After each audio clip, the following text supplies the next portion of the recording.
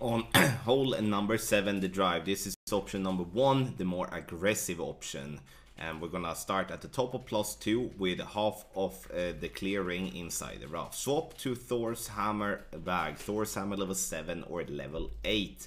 Max top spin, half a bar of right spin, adjust max plus 10 P3.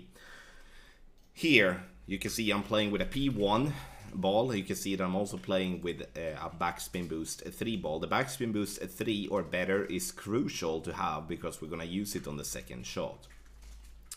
0.75 ball of curl to the right approximately, try to hit perfect and the ball will get to around 365 yards. If you do have any of the P2 backspin boost balls, there are two of them, then you can use that ball as well and then the needle on the drive will be slower and it will be then easier to hit perfect. Obviously bad drives might get you into trouble and that's a risk we're taking when it comes to option number one to really push it for the possibility of an eagle.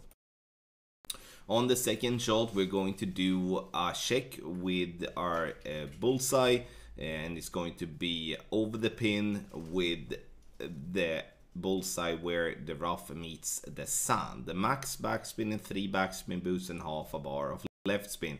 Now look at my second bounce here to be just above the uh, bright green square, just above the pin as well. So it's kind of aligned with the cup.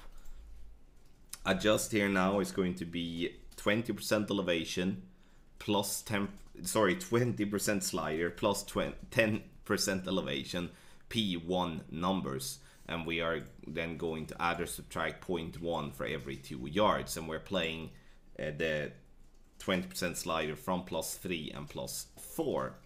Two clicks of right curl in this wind angle zone and uh, bounces on the green, takes the turn, dropping dead center for a lovely eagle on a very tough hole with this wind, uh, which is hole number 7 Old Bridge Park. Get our guide on patreon.com slash golf Tommy.